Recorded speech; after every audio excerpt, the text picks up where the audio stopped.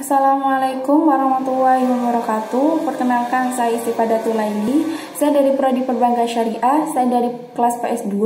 Saya di sini akan menjelaskan tentang ukuran perusahaan, di mana ukuran perusahaan itu sendiri adalah suatu ukuran, skala atau variabel yang menggambarkan besar kecilnya perusahaan berdasarkan beberapa ketentuan seperti aktiva, losinza, nilai pasar, saham, total penjualan, total pendapatan, total modal, dan lain-lain.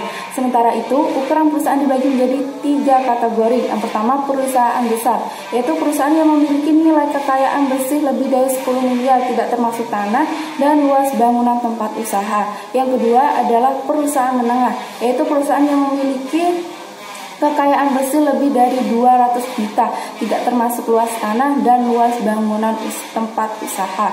Yang ketiga adalah perusahaan kecil, yaitu di mana perusahaan yang memiliki karyawan pekerja tidak lebih dari 50 orang. Sementara itu ada definisi dan pengertian ukuran perusahaan menurut Dasyai tahun 2007 yaitu suatu skala di mana tempat diklarifikasikan besar kecilnya perusahaan menurut berbagai cara seperti ukuran pendapatan, total aset, total modal, dan lain-lain.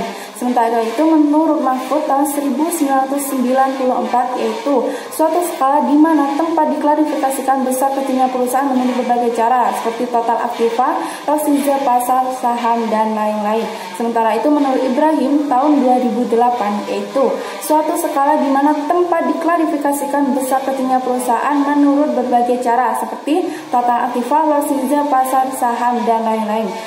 Menurut Mahfud dan Ibrahim ini itu hampir sama, yaitu bedanya pengelompokan perusahaan atas dasar skala operasi.